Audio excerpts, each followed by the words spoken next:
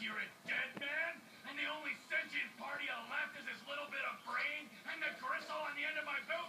Well, thank you very much, cowboy. Bullshit! Oh, I like it, denial.